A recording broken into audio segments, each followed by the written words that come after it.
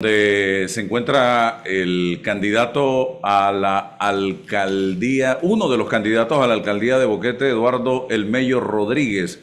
Eh, primero que todo, ¿usted va en este momento por algún partido político o independiente? Sí, buenos días Álvaro, buenos días Libeca, a todos, a Rolando. Sí, eh, yo estoy en el partido Cambio Democrático, candidato a alcalde y Ok. el candidato a representante por el corregimiento de Los Naranjos. ¿De dónde, y candidato a representante, de las dos? sí. Eh, ¿de dónde sale precisamente Eduardo Mello Rodríguez en materia política? Bueno, Eduardo del Medio Rodríguez es un boqueteño que crece en un popular barrio en el corregimiento Los Naranjos. Eh, se desempeña como deportista y también entra a la gestión pública como albañil y luego como cobrador de impuestos, donde le ofrecen correr como representante en el 2014, ganando las primarias y la general efectivamente en el 2014. Y hoy día son 10 años que llevamos trabajando, gestionando de la mano de nuestro pueblo en el corregimiento de Los Naranjos y gracias a Dios. Usted va por cambio democrático. El actual alcalde salió como alcalde por cambio democrático también, precisamente. Hoy es candidato, ¿por qué partido? RM. Ajá. Sí. ¿Y usted cree que es correcto ser candidato a alcalde y candidato a representante, señor Rodríguez? Bueno, yo lo veo como una oportunidad. Nosotros hemos demostrado un desarrollo en el corregimiento de Los Naranjos durante 10 años y siempre se ha visto la gran, el la gran falta de entendimiento entre un alcalde y un representante, ¿verdad? Eh, hay muchas personas que no lo ven bien y lo reconozco. A mí se me brinda la oportunidad de en julio postularme para representante de Los Naranjos. En el mes de octubre, el partido me ofrece correr para alcalde del distrito de Boquete. Y yo lo veo como una oportunidad, una oportunidad de demostrarle, en base al trabajo que hemos llevado en el corregimiento durante 10 años, de llevarle equitativamente los recursos municipales y todas las gestiones que hagamos dentro del distrito de Boquete a todos los corregimientos. Si usted gana ambas, ¿qué hace? Si, si nosotros ganamos ambas, nuestro suplente, Walter González, que ha estado con nosotros 10 años y sabe perfectamente todo el trabajo que hay que seguir haciendo en desarrollo en el corregimiento de Los Naranjos, él quedaría como representante de Los Naranjos y yo desde la alcaldía desarrollando los seis corregimientos y brindándole todos los recursos necesarios para que los corregimientos y todos nuestros pobladores tengan oportunidad, tengan la oportunidad de llevar ese agroturismo, ese fortalecimiento a todo el distrito. Rolando, Micrófono, micrófono. Rolando. Perdón. Eh, mire, señor Rodríguez, buenos días.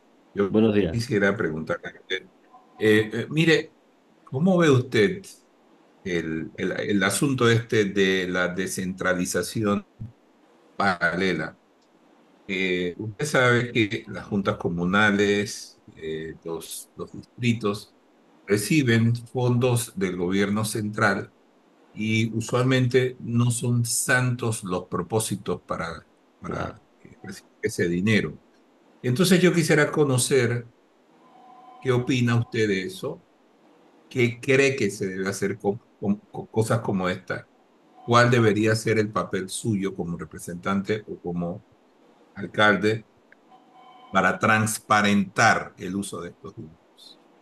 Sí, eh, la pregunta es muy puntual, de verdad tengo que reconocerlo porque, o sea, nosotros reconocemos que el tema de la descentralización hay que saber llevarlo y manejarlo como gestión dentro de, de un corregimiento.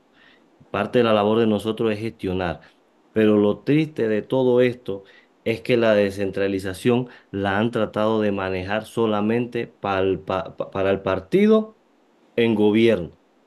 Y ese es el detalle.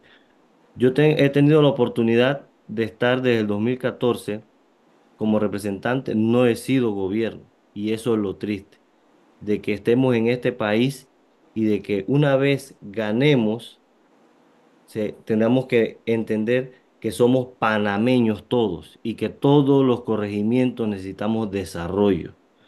Los Naranjos es un corregimiento de un gran potencial turístico. Todos los boqueteños que llegan a, a- Boquete, en su mayoría vienen a ver las cascadas, a disfrutar de los senderos, de la ruta del café, de todo lo que es la producción agrícola. Pero necesitamos poder buscar la manera de desarrollar todos estos puntos turísticos. Y si bien es cierto, la descentralización es buena, pero que sea equitativa para todos los corregimientos a nivel nacional. Muy bien. Eh, saludos, eh, señor Eduardo. Boquete es un distrito que ha crecido, que ha recibido gran cantidad de turistas que se han eh, pues, ido a vivir a esta área y que anualmente sigue, sigue recibiendo turismo desde distintos puntos del país y a nivel internacional.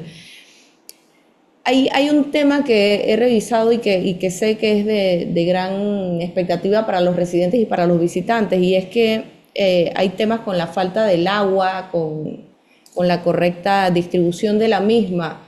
¿Cómo se ha abordado este tema en la actual gestión y, y de ser usted electo alcalde, aportaría en esa dirección de alguna manera?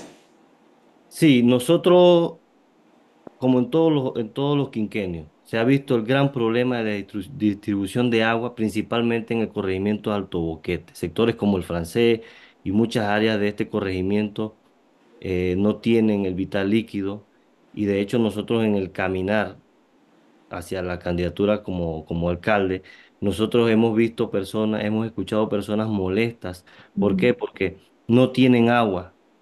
Y si bien es cierto, se han hecho jardines que eh, tienen permanentemente el agua potable. Y esto la verdad que es triste porque las personas molestas.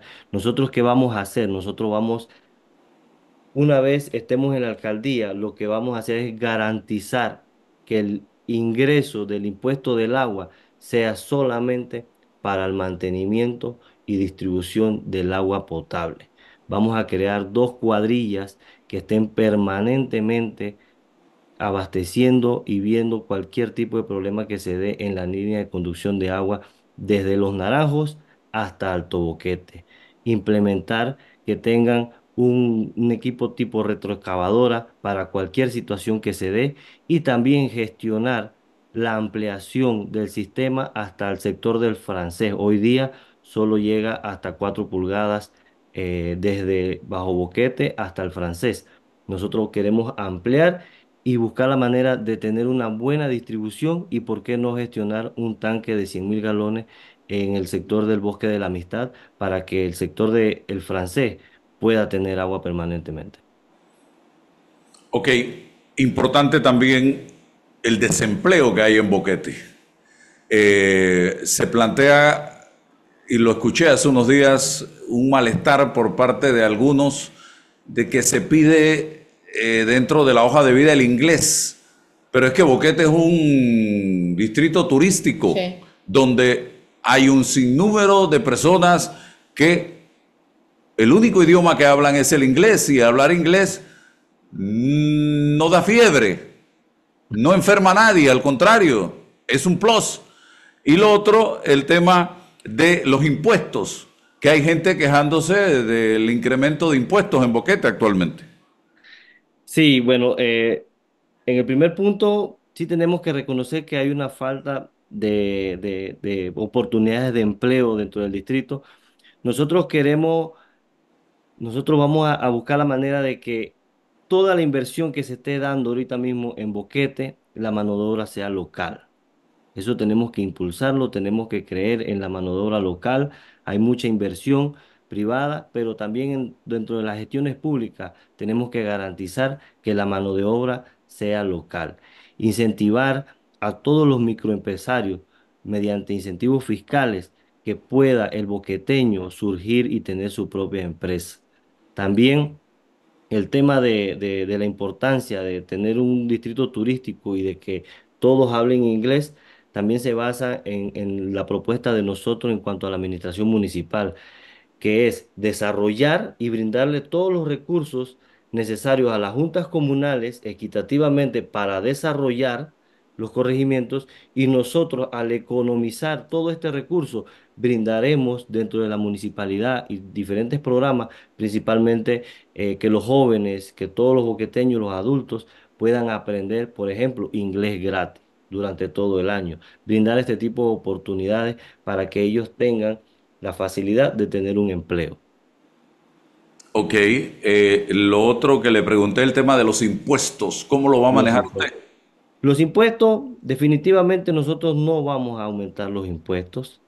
Si bien es cierto, eh, hay muchas quejas por el alza y principalmente en el- en la tasa del agua se da un incremento, creo que de un dólar hasta la fecha, y también en todo el comercio. Nosotros tenemos que reconocer que Boquete ha sido muy, muy golpeado con todas las crisis que se han dado. Nosotros ahorita mismo dentro de nuestra propuesta no hay un plan de aumentar impuestos. Al contrario, nosotros queremos llevar una tesorería municipal que le brinde un servicio eh, eficiente a todo el boqueteño, de impulsar un crecimiento de oportunidades. Eso, eso es una manera básica de poder tener ingresos dentro de la municipalidad. Si nosotros creamos oportunidades de empleo, creando alternativas turísticas y llevar un agroturismo a todos los corregimientos, no solamente en el centro de Boquete. Créanme que vamos, a- aparte de darle oportunidad al boqueteño, vamos a, a incrementar el ingreso dentro de la tesorería y también, ¿por qué no?, pensar en tener un registro eh, vehicular que Boquete no lo tiene. Eh, Rolando,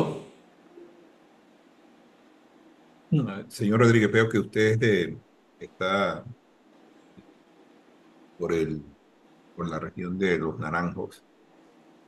Allí ha habido eh, construcción de algunas casas de políticos y con ello ha llegado el asfalto a muchas de las vías que están allí, incluso agua.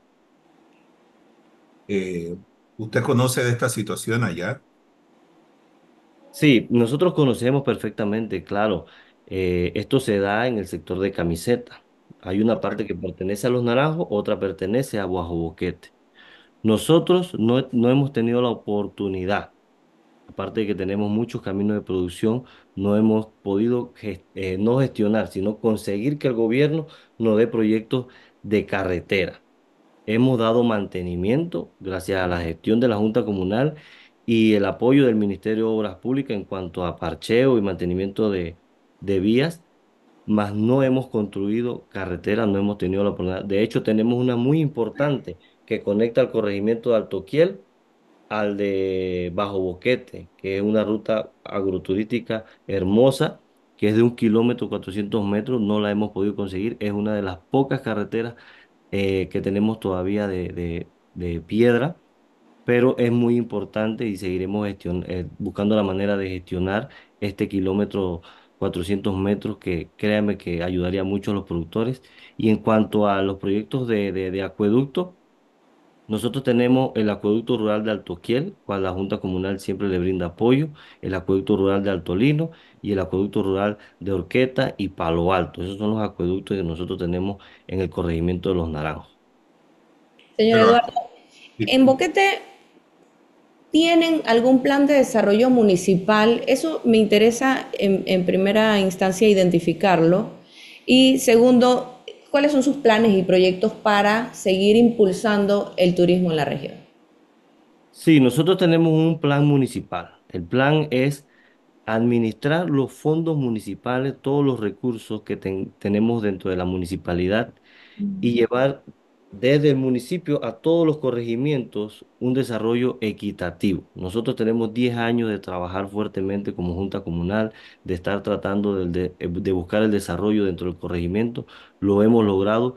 Si hubiésemos tenido el apoyo directo de un alcalde en cuanto a la gestión y al recurso de los impuestos municipales, hubiese sido mejor. ¿Qué buscamos nosotros? Administrar los fondos municipales crear la estructura básica y fortalecerla dentro del municipio para brindarle el trabajo y desarrollo a cada junta comunal. Y en cuanto al turismo, crear las rutas agroturísticas que lleven a todos los visitantes, ya sean nacionales o extranjeros, que conozcan Jaramillo, que conozcan Caldera, que conozcan Los Naranjos, que conozcan Palmira, que son rutas hermosas, rutas que van a llevar al turista a tener más alternativas, que el turista no pueda estar dos días ni tres días, pueda tener la oportunidad de que encontrar otros atractivos turísticos, otras costumbres y culturas y poder tener cinco o seis días dentro del distrito de Boquete. Bueno, muchas gracias a el candidato eh, en este momento